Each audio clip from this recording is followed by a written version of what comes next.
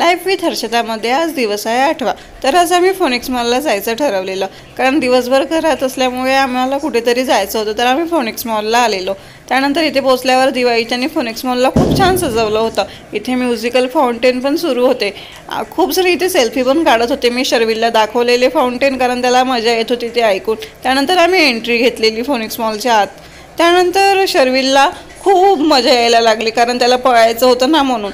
तो खूप जोरात जोरात पळू लागला त्याच्यामागे धाव धाव आम्ही पण थकलेलो. त्यानंतर इथे सेल्फी पॉईंट पण खूप छान छान आहेत. तिथे तुम्ही सेल्फी काढू शकता. त्यानंतर आम्ही टाईम झोनमध्ये आलेलो शर्विलला खेळायसाठी. त्याला काही पाळण्यावर आम्ही बसवलेलं. त्याने पण खूप छान एन्जॉय केलेला कारण त्याला पाळण्यावर झुलायला बसायला खूप जास्त आवडतं. त्यामुळे तो खूप छान बसलेला. त्या त्याला उतरायचंच नव्हतं. तरी आम्ही कसं तरी ब जबरदस्तीने त्याला उतरवलेलं. तरी तो उतरायला तयारच नाही. मग मी हा पाळणा बघितलेला. हा पाळणा गोल पण फिरतो. हे माझ्यासाठी खूप मोठं सरप्राईज होतं. मला वाटलं की फक्त तो आजूबाजूलाच फिरत असणार. त्यानंतर शर्विलला हा गेम खूप आवडलेला. त्याला मी खेळवत होती तर त्याला मला खेळवूच द्यायचं नव्हतं. त्याने माझा हात बाजूला केलेला आणि स्वतःच खेळू लागलेला. त्यानंतर आम्ही बर्गर किंगमध्ये आलेलो आणि इथे येऊन बर्गर खाल्लेला. त्यानंतर आम्ही एक्झिट करायला निघालेलो.